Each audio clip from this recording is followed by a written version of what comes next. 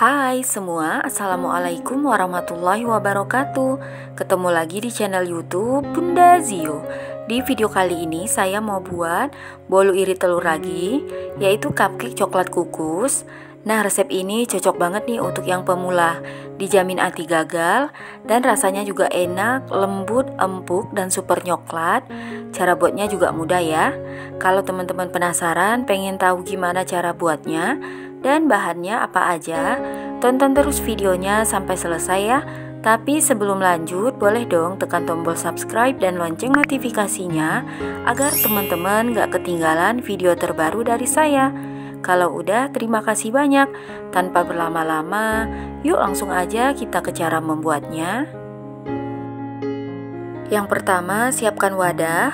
Masukkan 2 butir telur, di sini saya pakai telur ukuran kecil. Kalau besar boleh pakai satu aja ya. Kemudian tambahkan 6 sendok makan gula pasir. Jadi takarannya nggak terlalu menggunung ya. Jadi setara dengan 90 gram. 1 sendok teh emulsifier, di sini saya pakai ovalet karena kebetulan SP saya habis ya. Jadi boleh pilih salah satu TBM, SP atau ovalet. Kemudian ini di mixer hingga mengembang putih, kental dan berjejak. Secara bertahap dari speed rendah hingga maksimal sekitar 5 menit atau bisa disesuaikan dengan mixer masing-masing. Nah setelah 5 menit ini adonannya udah mengembang ya putih kental dan berjejak. Bisa dilihat ciri-ciri adonannya. Jejak yang ditinggalkan udah tidak mudah tenggelam. Lalu matikan dulu mixernya Berikutnya siapkan ayakan, masukkan 9 sendok makan tepung terigu protein sedang, takaran sendoknya seperti ini ya, atau setara dengan 90 gram.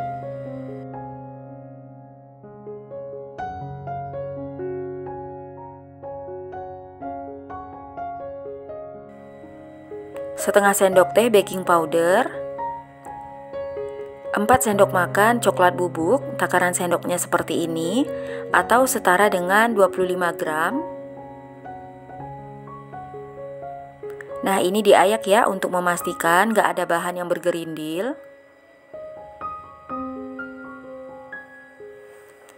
Untuk bahan cairnya, tambahkan satu saset kental manis coklat, boleh juga pakai yang putih.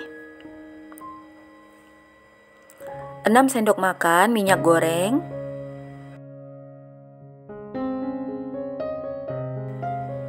Dan yang terakhir 3 sendok makan air putih. Lalu ini di mixer ya. E, menggunakan speed paling rendah. Di mixer asal tercampur rata aja sekitar 20 detik.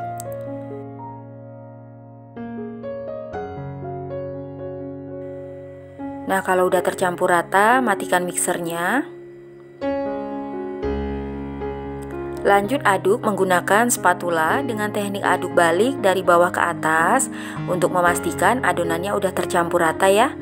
Dan pastikan gak ada endapan cairan di bawah adonan karena kalau masih ada ketika dikukus nanti bolunya bisa bantat. Nah ini adonannya udah tercampur rata ya. Selanjutnya ini akan saya masukkan ke dalam plastik segitiga. Semprotkan ke dalam cup puding. Di sini saya gunakan yang kapasitas 120 ml ya. Semprotkan jangan sampai penuh, cukup 3 per 4 bagian aja. Nah, kalau udah ini siap untuk dikukus. Sebelumnya saya sudah panaskan kelakat kukusan, ini airnya udah mendidih. Lalu masukkan cup berisi adonan.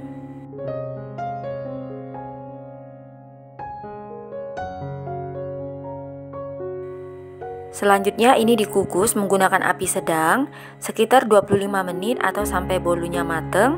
Untuk yang menggunakan panci biasa, tutupnya dialasi dengan kain atau serbet bersih agar uap air tidak menetes di permukaan adonan. Setelah 25 menit, buka tutup kukusan. Nah ini cupcake coklat kukusnya udah jadi ya, udah mateng.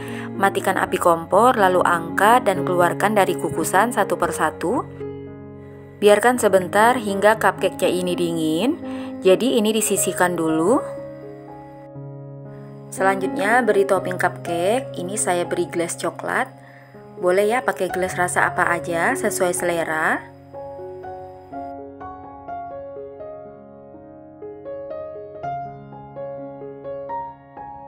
Nah, untuk di atasnya saya beri lagi sprinkle, bola kecil crispy, kacang sangrai, kacang almond, dan choco chip yang kerucut. Jadi toppingnya bebas ya, sesuai selera.